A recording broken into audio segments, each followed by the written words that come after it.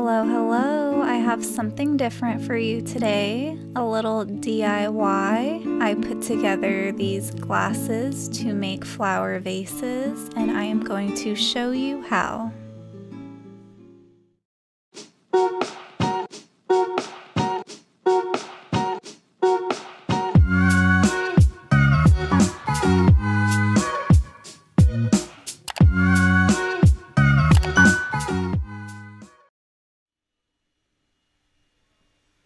I'm going to show you step by step how to take this Trader Joe's lemonade bottle and turn it into a vase for flowers or for whatever you'd like.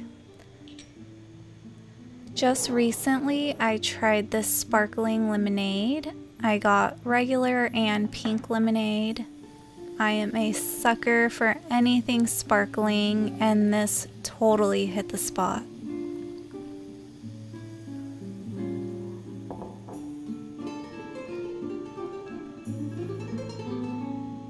If you have not tried this yet, find your nearest Trader Joe's and go grab a couple of bottles. You will not regret it. It is so refreshing. I cannot wait to use this when the weather warms up for anything I can, really.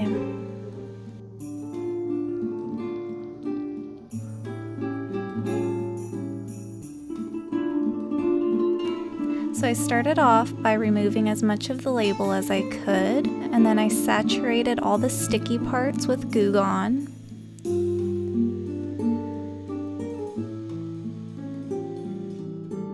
And then I let that sit while the inside of the bottle soaked with hot water and dish soap. Once I rinsed that all out, I added some twine to the bottle totally optional. I just thought it'd be really cute and add to the rustic vibe I was going for.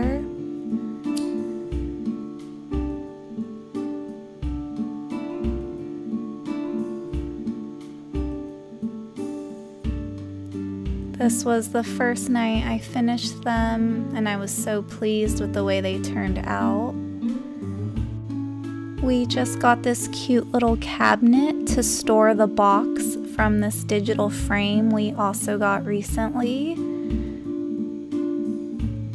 And I wanted to put something up that would hide the wires from the frame. This absolutely nailed it. You can't even see the wiring, you wouldn't even know it was there. And just because it is winter does not mean that you can't have fresh cut flowers in the house.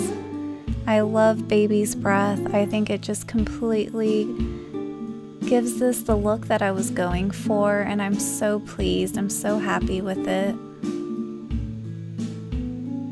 I wasn't sure what I was going to do with these bottles originally. I just liked the way they looked. I like the feel of them, and I'm glad that this is what I ended up doing with them. They're so cute. These are gonna last a while and I can switch out any flowers I want without killing the stem. So thank you for watching. I hope you enjoyed this kind of video. I'll have more in the future. Take care and I will see you again soon.